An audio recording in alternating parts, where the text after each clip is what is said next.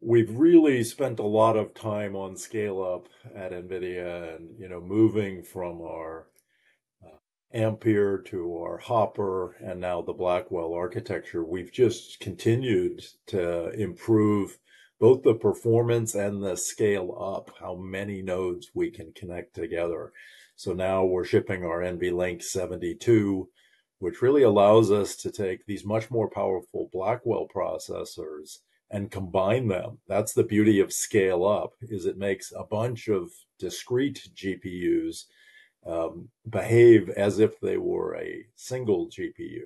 And that's important. It's easier to program.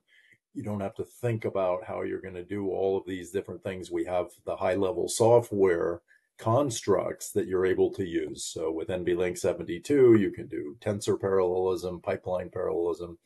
And that's really important for a lot of reasons with some of the new large language models that we're seeing in the field. So scaling up is super important. And as Jensen showed uh, last year at GTC, we're doing that on copper. And it's always important uh, to think about how you're going to scale out at data center scale. And we say copper where you can.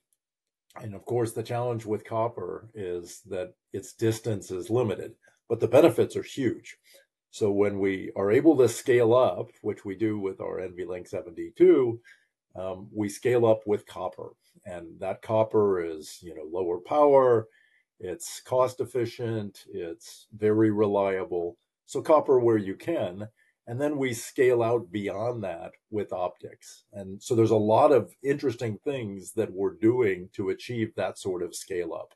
While we're not a member of UA Link, we follow the development of these standards uh, carefully. And if something comes out of that and people want us to join, and there's customers and partners that are looking for us to support that, we will. Always, of course, the challenge with standards is how fast they're able to move, um, whether they're able to define a standard that actually meets the needs of both the customers and that all of the partners that are participating in an organization like that are able to agree to. We're going to run as fast as we can uh, on scale up. And, you know, some of the problems that we're solving, we're finding perhaps before others are. And therefore, we can run really fast uh, and not have to wait for the standards. But we always love standards. We support them. You know, when there's a broad ecosystem, we can adopt that and, and support it InfiniBand is really the scale out fabric. Um, it comes from our heritage of high performance computing. Those HPC supercomputers was really where InfiniBand was first developed to address those very large scale applications. It turns out that that same network and some of the innovations that we developed on InfiniBand was really, really useful for AI. And so today, InfiniBand is the gold standard for AI scale out networking. But Ethernet is vitally important as well. And there's people that want to use Ethernet for a variety of reasons. Um, so while InfiniBand has certain features and certain capabilities that really make it the gold standard with something like 30% better performance improvements um, versus Ethernet, the the Ethernet is is valuable and important, and we've seen very large scale implementations of that. Uh, 100,000 GPU deployment, for example, on Ethernet. And what's important there is it's not your traditional uh, Ethernet that we saw a decade ago or even you know today. We see other people offering Ethernet, which has not been designed and tuned to operate in AI. So if you have traditional Ethernet, which was really designed for a different set of workloads, those were highly uncorrelated workloads. Millions of users, each doing different things, nothing really happening at the same time. AI is completely different. Now you have highly correlated. Instead of a million jobs in a training run, you have one job that happens to be running on 100,000 or even more GPUs.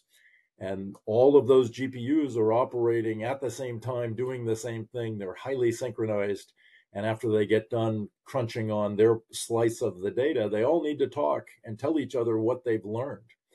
And that is called a collective operation. where everybody wants to talk to everybody and all to all communication all at the same time. And that's just not what Ethernet was designed to do. And it turns out that if you naively take your existing infrastructure, your switches and your adapters and your software, and you try to run AI on it, people say, well, why can't we get the same performance that you're showing and the benchmarks that you're releasing?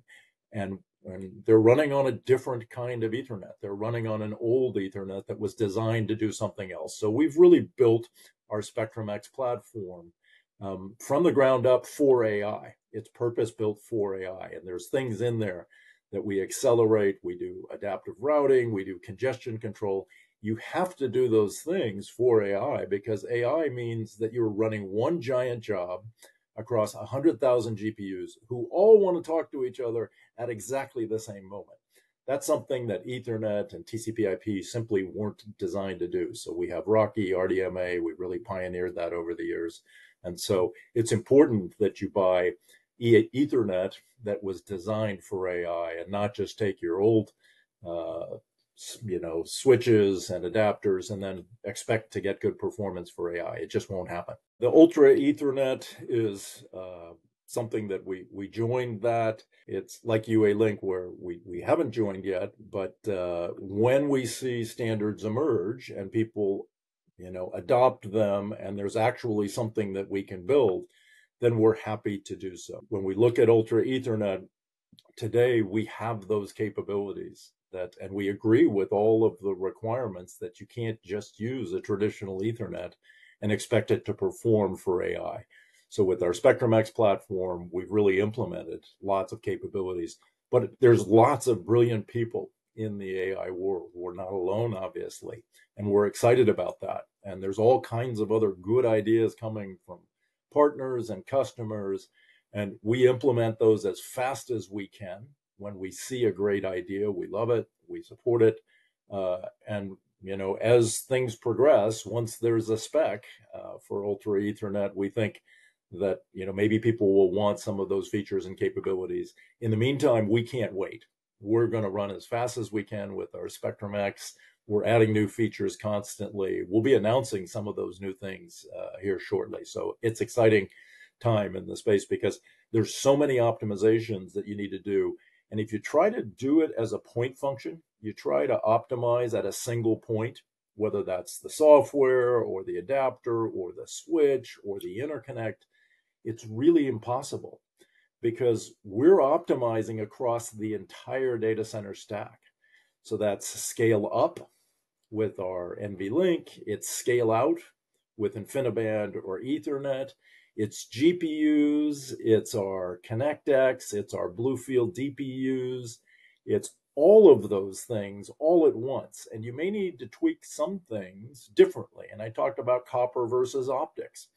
Um, we really want to use as much copper as we can for scale up. To do that, we need to make things dense. And so we brought everything close together with all of our new liquid cooled platforms.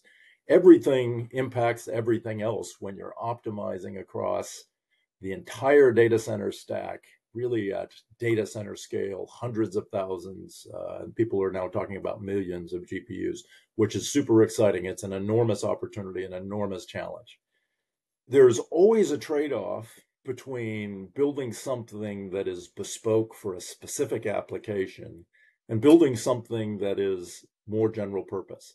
So we built the GP GPU, and that's the general purpose GPU. So it does more than graphics processing. Can we optimize uh, for a specific workload? We can, and indeed we do. And so if you look across our product line, we have different products of different scale that have different numbers, for example, of graphics processing capabilities.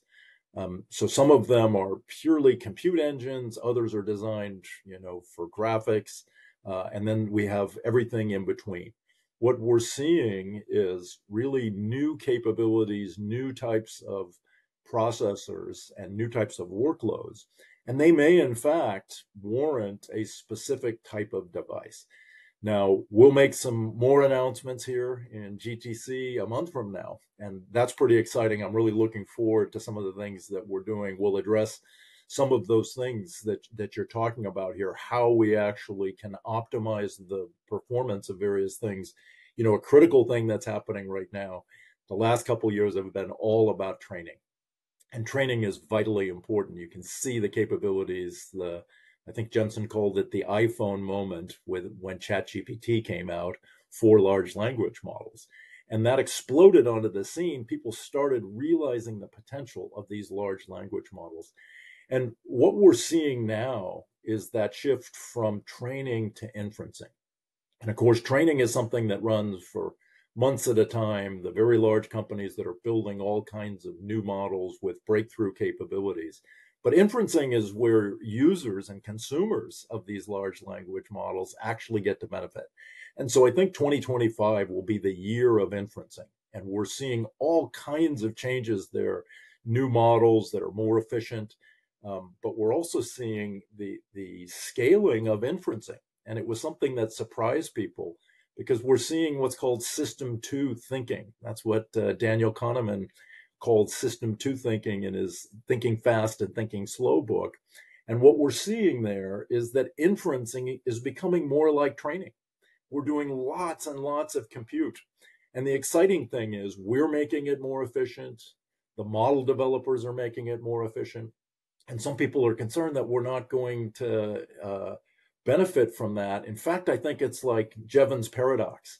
That's that crazy thing from the 18th century where they built a more efficient steam engine. James Watt built a more efficient steam engine. And people despair that that was going to impact the demand for the coal, the energy that drove those engines. In fact, it was the exact opposite. What happened is by making something much, much more efficient, then it got used way more broadly. And the demand actually went up for all those different steam engines and, of course, the coal that drove them back then. I see the same thing happening with AI and inferencing. As things get more efficient, as we continue to drive and make the efficiency, the power um, per performance per watt, the performance per dollar, as we make it more efficient, it is going to become broadly usable across all kinds of different spaces.